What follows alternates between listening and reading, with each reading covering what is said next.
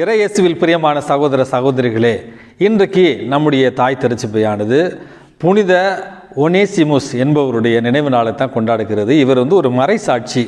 இவர் வந்து புனித பவுலடியார் காலத்தில் வாழ்ந்த ஒரு மறைசாட்சி என்று சொல்லுகிறார்கள். ஒரு செல்வந்தராகிய பிலமென் என்பவரிடத்தில் இவர் ஒரு அடிமையாக வேலை செய்கிறார். பிறகு அவரிடமிருந்து தப்பித்து ஓடி ரோம் நகருக்கு சென்று அங்கே ரோம் நகரில் சிறையில் இருந்த பவுலடியாருக்கு இவர் பணிவிட செய்கிறார். இவர் செய்தது தவறென்று புனித பவுலடியார் அவருக்கு அறிவுரை வழங்கி மறுபடியும் இந்த செல்வந்தரிடமே இவரை அனுப்பி வைக்கிறார். உனேசிமுஸ் அந்த செல்வந்தரிடத்தில் திரும்பி வந்து மன்னிப்பை கோருகிறார். அதே நேரத்தில் அந்த செல்வந்தர் அவரை மன்னித்து முழுவதுமாக அவரை விடுதலை செய்கிறார். பிறகு பவுலடியாரிடத்திலே திரும்ப வந்து இவர் பணி செய்தார். இவர் ஆயராகவும் உயர்த்தப்பட்டார். இவர் உயர்த்தப்பட்ட காலகட்டத்தில் வேத கலாபனை உச்சத்தில் இருந்தது. ஆகவே தன்னால் முடிந்த அளவில் துன்பத்தில் இருப்பவர்களுக்கு ஆறுதலையும் தன்னுடைய வாழ்வால் அவர்களுக்கு மன உறுதியும் கொடுத்தார் என்றும் கடைசியில் பதினெட்டு மாதங்கள் மிக கொடுமையாக இவர் வதைக்கப்பட்டு கடைசியில் இவருடைய கால்களும் தொடைகளும் முறிக்கப்பட்டு இயேசுவுக்காக மறைசாட்சியாக கொல்லப்பட்டார் என்று இவருடைய வாழ்க்கையில் நம்ம பார்க்கிறோம். ஆகவே அன்புமிக்கவர்களே இயேசுவை பின்பற்றுவதற்கு நமக்கு வேறு எந்த தகுதியும் தேவையில்லை. அவர் மீது உண்மையான விசுவாசமும் அவர் மீது உண்மையான அன்பும் மாறாத பற்றும் கொண்டிருந்தாலே போதும் நம்மாலும் அவருக்கு சான்று பகர முடியும் என்பதற்கான ஒரு அழகான சான்று தான் புனித ஒனேசிமிசனுடைய வாழ்க்கை. அவருடைய வாழ்க்கையை பின்பற்றி அவருடைய பரிந்துரையால் இயேசுவை நாம் முழுமனதோடு அன்பு செய்யவும் அவர் மீது பற்று கொண்டிருக்கவும் அவருக்காக எதையும் செய்ய துணிகிற ஒரு மனப்பாங்கை இறைவன் நமக்கு தர வேண்டுமாய் இன்றைக்கு மன்றாடி ஜெபிப்போம். அன்புமிக்கவர்களே நம்முடைய இந்த உலக வரலாற்றில் மனிதர்களால் கைவிடப்பட்டவர்கள் இன்றைக்கு சமுதாயத்தில் உயர்ந்து இருக்கிறார்கள் அவர்கள் ஒரு சில உதாரணங்கள் உங்கள் எல்லோருக்குமே தெரியும்.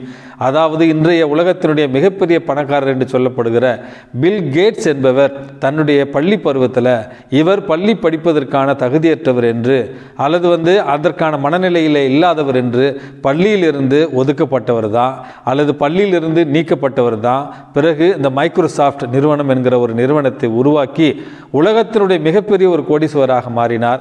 இப்போ உங்களுக்கு தெரியும் மருத்துவ உலகில் கூட அவருடைய நிறுவனங்கள் தான் இன்றைக்கு வளர்ந்து கொண்டே இருக்கிறது என்பதும் நாம் கண்கூடாக கண்ட ஒரு வரலாற்று உண்மை. அவர் நல்லவரா கெட்டவரா நீதின்படி நடக்கிறாரா அதை பற்றி இப்போது ஆராய்ச்சி தேவையில்லை. ஆனால் இந்த உலகத்தில் கைவிடப்பட்டவர் ஒருவர் இன்றைக்கு உலகத்தையே ஆண்டு கொண்டிருக்கிறார். அடுத்தது ஸ்டீவ் ஜாப்ஸ் அப்படிங்கிற இன்னொரு இந்த ஆப்பிள் நிறுவனத்தினுடைய நிறுவனர் என்று சொல்லுகிறார்கள். அவரும் அவருடைய கல்லூரி படிப்பில் இந்த உலக மக்களால் கைவிடப்பட்டவர் தான். அறிவோ அல்லது பெரிய தொழில்நுட்ப ஆர்வமும் அவரிடத்தில் இல்லை என்று தான் அவரும் ஒதுக்கப்பட்டார். தன்னுடைய நண்பனோடு சேர்ந்து அவரும் பிற்காலத்தில் மிகப்பெரிய தொழிலதிபராக மாறினார். இந்த ஆப்பிள் நிறுவனத்தினுடைய அதிகமான பங்குகள் அவருடைய கைகளில் தான் இருந்தன. இறக்கும் பொழுது புகழின் உச்சத்தில் இருந்து தான் அவர் இறந்தார். ஆனால் இள வயதில் அவரும் ஒதுக்கப்பட்டார். அல்லது அவரை வைத்து இன்னும் ஒரு முறை முயற்சி செய்வதற்கு யாரும் முன் வரவில்லை என்பது உங்கள் எல்லோருக்குமே தெரியும்.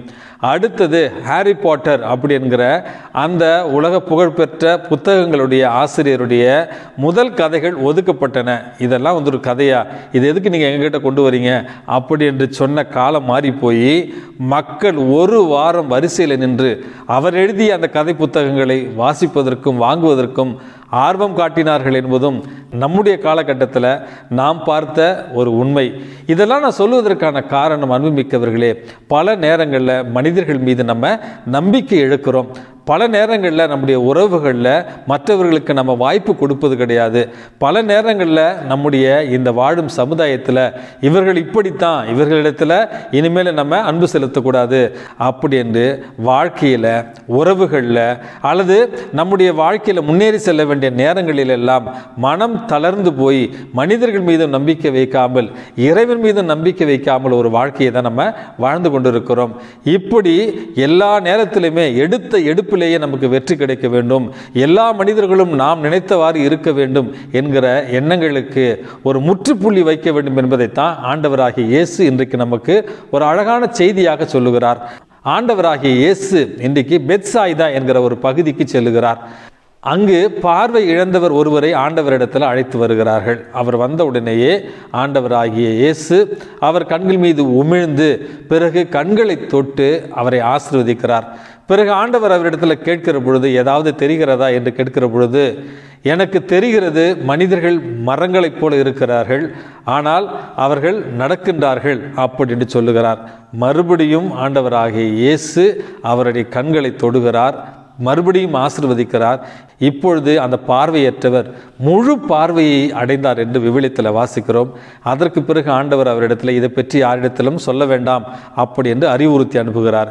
இந்த நற்செய்தி வாசகத்தில் எனக்கு பிடித்தமான ஒரு விஷயம் என்னவென்றால் ஆண்டவராகிய இயேசு ஒரு வார்த்தையாலேயே இந்த மனிதனுக்கு இன்றைக்கு பார்வையை கொடுத்திருக்கலாம்.